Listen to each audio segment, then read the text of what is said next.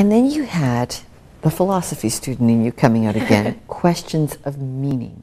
You questioned what is the meaning of this rowing experience. Describe some of that for yeah. us.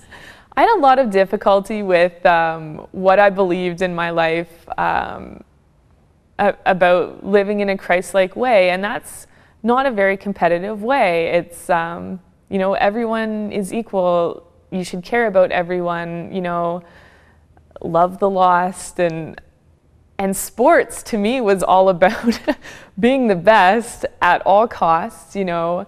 And I saw that my place on the team, I was taking something away from someone else who who really wanted it as well. And I really struggled with what's the meaning of sport and what is the value in society, but even more, what's the value in my life? If I win a gold medal at the Olympics, it means I can row a long, skinny boat backwards faster than anyone else in the world, but what is that value? Um, and it was actually, I, I keep a little, I have it here, a little um, prayer journal, just like I keep a workout journal. And this is really valuable to me because I'll write prayers down in it because I'm not really good at praying in my head.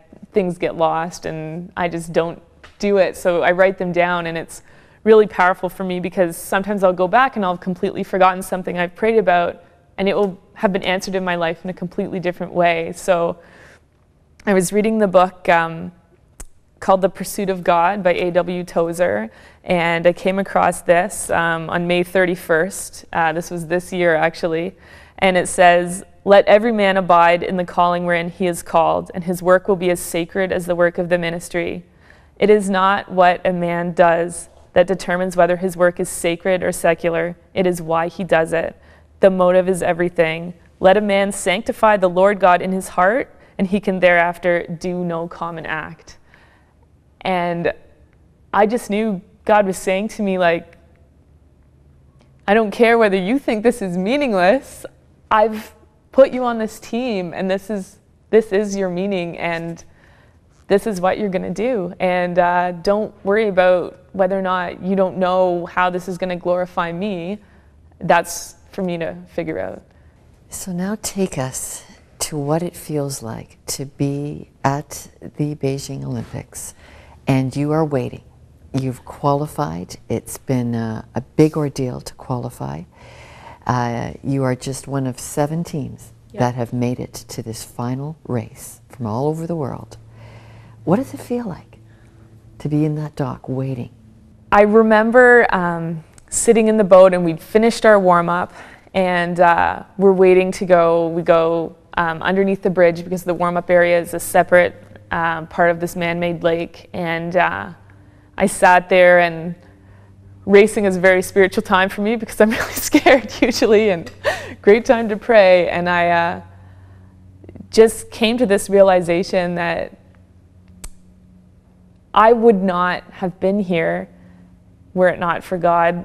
I felt so attached to that dream and I wanted to win so badly and you know, you're so focused on outcome and you've been training for outcome all this time, but I'm like, I, I used to want to be a rock star. I never even had the insight to dream this for myself, let alone thought it was possible. And my job here is to sit here and row. And whatever happens at the end of this race, I have, this is the moment I've been training for, like the, the chance to have this race. And that's a gift. And I've been given so much. And I can honestly say that I really went into those start gates with, with a lot of peace and was just ready to do my job regardless of what was going to happen on the line. And it was quite a line. This is the day that was billed as Super Sunday by Canada's broadcaster. It was, you know, five out of five Olympic medals that day were expected. And you were uh, the last medal to come through. And um, tell us what happened. Well, it was a very close race, and uh, the media always asks us to predict, like, well, do you think you're going to win a medal? Like, what are your chances? And I had said every time I was asked that question, it's going to be such a close race in the women's eight. So in the race, we had a great start. We were second for the first 500 meters of the race to the United States. Um, then we were third to the United States and Romania, and we were fairly comfortably in third and uh, really having a great race, and it was a great race right to the line. And um, the Dutch came through in an amazing burst of speed in the last 500 meters, and uh, we ended up being beaten by by seven eighths of a second um, to to just miss out on a medal. And uh, I can say that there were feelings of disappointment when I crossed the line, but it was not a disappointing race. Some of the drama includes the jacket you're wearing. It is the podium jacket. Uh, it's sealed. It's kind of snuck to you guys in case you get to the podium and you get to wear it. And you come back kind of almost hiding the, the, the jackets because you can't wear it on a podium. Tears all around. Tell me about recovering.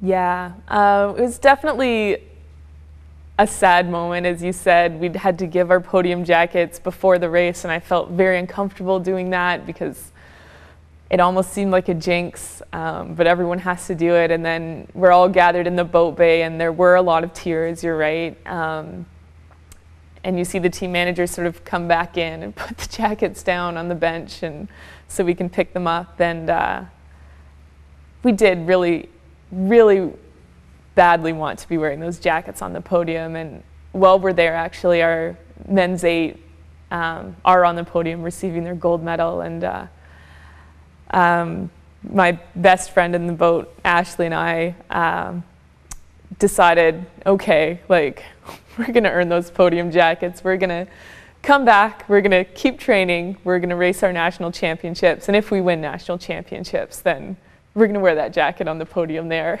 and you did. And you we did. Just recently won the last nationals. weekend. Yeah. Yeah. in the women's pair. So. a lot of people, a lot of us, need to learn lessons of perseverance, of setting great goals and just going for them. Do you think that's part of God's hope for our lives? I absolutely do. And the thing that, I mean, I find is I had an opportunity to come in fourth in the world. Like, I never would have dreamed that for myself. Someone else had to look at me and say, Have you thought about the national team? Because I think you could do it. And at that point, I didn't have any results behind me. I was doing well by that point on my university team, but every single time there's been something I've really wanted in my life or I thought, like, this is the way this has to work out. And when it hasn't, or I've come to the realization after that wow, God used this to do something completely different. It's always something I never could have possibly imagined for myself, and it's so much more beautiful and so much more meaningful, even if it comes out of not achieving the thing I'd hoped to achieve. It's always been something far better in the long run, and that to me is just the power of God. It's never what we think, it's what He thinks. And you're not stopping now. You're, you're on the national team, still training. Uh, there's another Olympics coming up in your horizon in London. but now you've begun your master's degree in occupational therapy. Why?